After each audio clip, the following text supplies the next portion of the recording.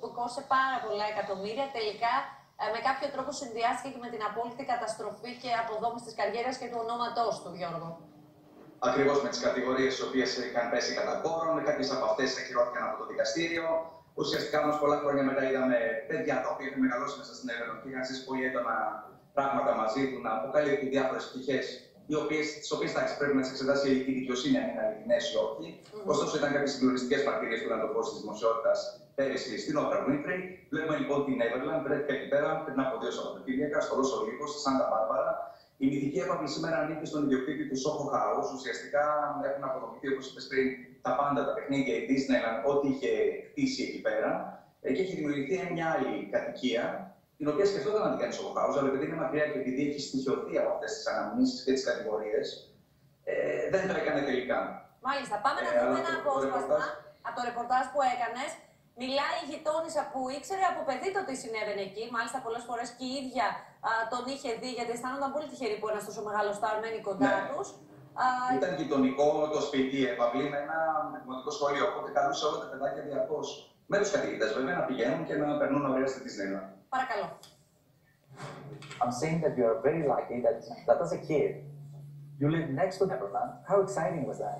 It was. It was. Um, it was a thrill, honestly. I mean, being neighbors with kind of Michael Jackson, what my elementary school was, and um, you know he was very neighborly and let us visit every year, which was very nice of him, and um, would see his, his fans out, very loyal fans out there cheering him on every day in front of his house. What happened when the first accusations came out? Um, there was a little bit of turmoil with the parents. They were very limited about the people who were allowed on. So essentially, we they kind of came to the deal that we weren't allowed to go on. It was only if he wasn't on premise. So they kind of came to an agreement. So uh, Michael Jackson actually agreed to that. We could still come on, but then he basically promised that he wouldn't be on site while we were there. But actually, he was behind the windows and he was watching the kids all the time as they were playing in the playground. Is that true?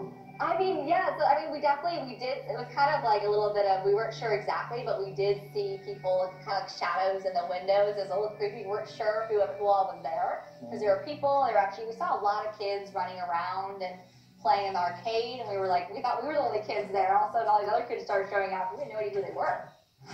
Μάλιστα, και κάποια στιγμή από ό,τι είδα στο ρεπορτάζ σου, Γιώργο, για να σου αποδείξω ότι όντω το έβλεπα χθε, δεν το λέω έτσι, δούλευαν έω και 100 άτομα α, για να συντηρήσουν. Έω και 100 άτομα, ναι.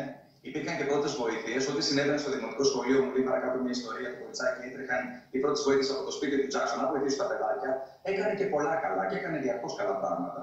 Τώρα όλο αυτό που συνέβη μένει να αποδειχθεί, να το δείξει η ιστορία τι πραγματικά συνέβη.